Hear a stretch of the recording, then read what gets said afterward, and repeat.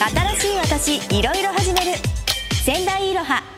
やってきました福島。今回は食欲の秋福島のスイーツを大満喫したいと思います。いろは組がまずやってきたのは福島市内で唯一のパンケーキ専門店キャンディードゥ店内もハワイアンのインテリアで本当素敵ですよね。美味しいパンケーキを食べるためにあのわざわざ東京の方とか遠いところに足を運んでたんですけれども福島にもそういうお店が欲しいなと思ってパンケーキ専門店を考えました。いただきます。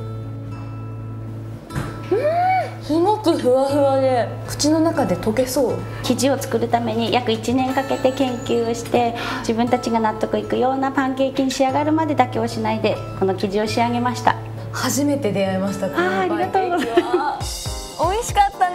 ねえ。よし次のスイーツは福島競馬場だ、え競馬場でスイーツ？行こう行こ今年も5日から開幕した秋の福島競馬。期間中は大人はもちろんファミリーで楽しめるイベントがたくさん開催されます。重賞福島記念 G3 が行われる13日にはあの狭間寛平さんが登場しレースを大いに盛り上げてくれます。う宮城さん今年の秋競馬も女性が楽しめるイベントがたくさん開催されるそうですね。はい。今回も女性専用馬女スポットがオープンします。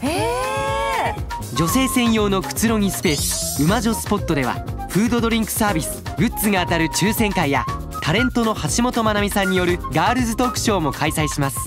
こちら馬女スポットに週替わりで登場するスイーツです。どうぞ。うわーかわいいではいただきます。